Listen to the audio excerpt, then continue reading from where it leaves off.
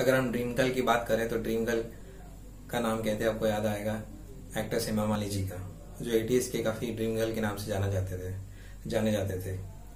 और आज के तारीख में अगर हम ड्रीम गर्ल की बात करें तो एक्टर आयुष जी हाँ दोस्तों। हाल ही में रिलीज़ हुई ट्रेलर के बारे में हम चर्चा करने वाले हैं ड्रीम गर्ल जैसा इस पिक्चर में हीरो एक फीमेल वॉइस में बात करना काफ़ी पसंद करते हैं। और बचपन से लेके बड़े होने तक स्टेज शो करना पसंद करते हैं और उसमें भी फीमेल रोल करना पसंद करते हैं। क्योंकि उन्हें फीमेल वॉइस में बात करना काफ़ी अच्छा लगता है और उन्हें वो कला उन्हें काफ़ी पसंद रहता है। ये पिक्चर, इस पिक्चर में हीरो का रोल मिस्टर आयुष कर रहे हैं और हीरोइन नसर बरूची और अनु कपूर। ये पिक्चर काफ़ी अच्छा कॉमेडी है, काफ़ी अच्छा एंटरटेनमेंट है।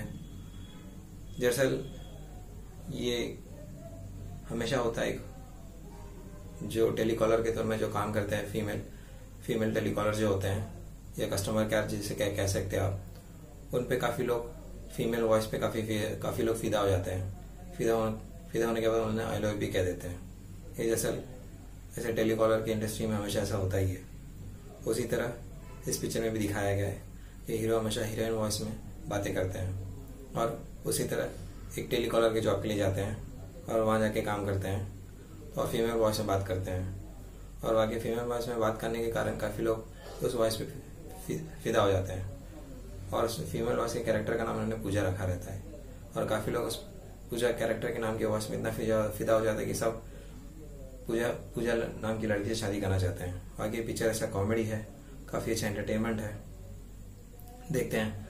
अभी अगले महीने तेरह तारीख तेरह सितंबर को रिलीज़ होने वाली है। ये पिक्चर कितना अच्छा लोग को प्रभावित करती है और कितना अच्छा पिक्चर कॉमेडी है, देखते हैं। फिर मिलेंगे अगले वीडियो में। तब तक अपना ख्याल रखिएगा और सत्यापा वीडियो को चैनल को लाइक कीजिए शेयर कीजिए और कमेंट्स कीजिए। तब तक अपना ख्याल रखिए। घर में परिवार का अपना ख्याल रखिए। Till then take care bye